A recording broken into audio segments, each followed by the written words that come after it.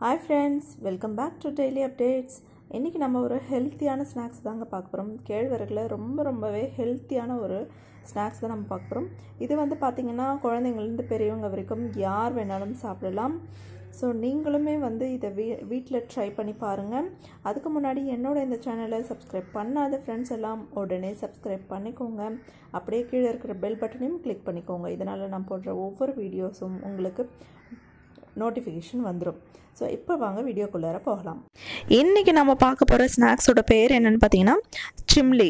இதுக்கு தேவையான பொருள்கள் கேழ்வரகு இரண்டு கப் வேர்க்கடலை வறுத்த வேர்க்கடலை ஒரு கப் வெல்லம் பொடித்த வெல்லம் ஒரு கப் இது தாங்க மெஷர்மெண்ட் நீங்கள் வந்து எவ்வளோ வேணாலும் எடுத்துக்கலாம். நான் இன்றைக்கி வந்து அளவு வந்து அதிகமாக தான் எடுத்திருக்கேன். உங்களுக்கு அந்த அளவுக்கு நான் சொல்கிறேன் ரெண்டு கப்பு கேழ்வரகு மாவு எடுத்திங்கன்னா ஒரு கப் வறுத்த வேர்க்கடலை ஒரு கப் பொடித்த வெல்லம். இது தாங்க அளவு. ரொம்ப அதிகமாக வெல்லம் போட்டிங்கனாலும் திகட்டிடும். ஸோ இந்த கேழ்வரகு மாவில் பார்த்திங்கன்னா ஒரு ஸ்பூன் உப்பு சேர்த்துட்டு நல்லா பிசைஞ்சிக்கோங்க. புட்டு பதத்துக்கு பிசைஞ்சு வச்சுக்கோங்க. கொஞ்சம் கொஞ்சமாக தண்ணி சேர்த்து இது வந்து நம்ம புட்டு மாதிரி செஞ்சும் சாப்பிடலாம் இந்த சிம்லி. இல்லை வந்து நீங்கள் கேழ்வரவு மாவை ரொட்டி மாதிரி தட்டி போட்டு அதை பிச்சு போட்டு கூட அது கூட வேர்க்கடலை வெல்லம் சேர்த்து அரைச்சி அது கூட நீங்கள் வந்து சாப்பிடலாம். அந்த மாதிரியும் செய்யலாம். ரெண்டு மெத்தட்லேயுமே நீங்கள் செய்யலாம். ஸோ ரெண்டுமே வந்து பார்த்திங்கன்னா டேஸ்ட் ஒரே மாதிரி தான் இருக்கும்.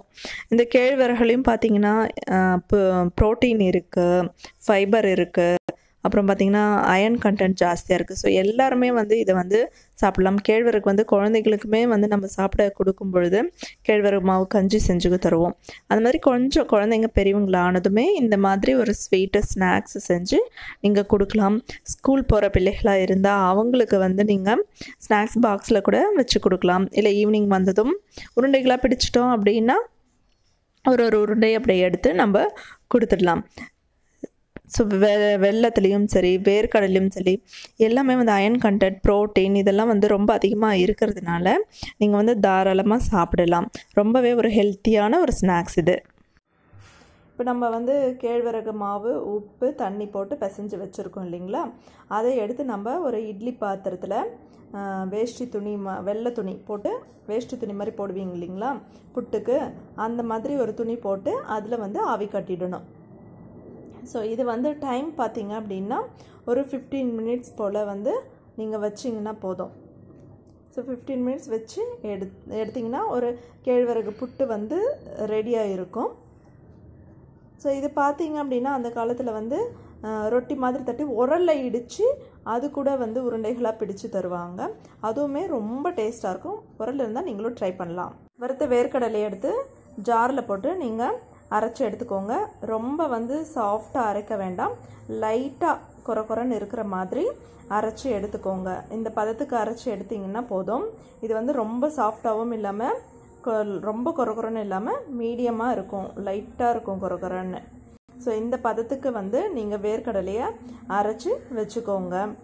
நெக்ஸ்ட் பார்த்தீங்கன்னா அவிச்சு வச்சுருக்கிற கேழ்வரகு புட்டு எடுத்து நம்ம அதை வந்து மிக்சியில் போட்டு அரைச்சி எடுத்துக்கணும். இப்போ வந்து வேர்க்கடலை அரைச்சி எடுத்தோம். அந்த மாதிரி இந்த கேழ்வரகு மாவு புட்டையும் எடுத்து அரைச்சி எடுத்துக்கணும்.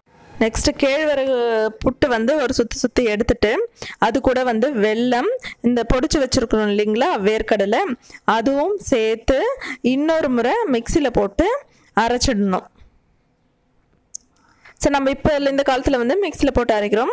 அந்த காலத்துலலாம் பார்த்தீங்கன்னா கேழ்வரகு ரொட்டி செஞ்சு அதை வந்து உரலில் போட்டு இடித்து அதை தான் உருண்டைகளாக பிடிப்பாங்க. இந்த மாதிரி பதத்துக்கு வந்திருக்கும். நம்மளுக்கு வெல்லம் சேர்க்கறதுனால நம்மளுக்கு ஈரமாக தான் இருக்கும். ஸோ நம்மளுக்கு உருண்டை பிடிக்க ஈஸியாக இருக்கும். ஸோ இந்த மாதிரி எல்லாம் நல்ல உருண்டைகளை பிடிச்சு வச்சுக்கணும். இந்த மாதிரி உருண்டைகளை நம்ம குழந்தைகளுக்கு கொடுக்கலாம். குழந்தைகளுக்கு மட்டும் இல்லாமல் குழந்தைகள் முதல் பெரியவர்கள் வரை யார் வேணாலும் இதை சாப்பிட்லாங்க. இந்த வீடியோ உங்களுக்கு பிடிச்சிருந்தா லைக் பண்ணுங்கள் ஷேர் பண்ணுங்கள் கமெண்ட் பண்ணுங்கள் ஃப்ரெண்ட்ஸ் தேங்க்ஸ் ஃபார் வாட்சிங்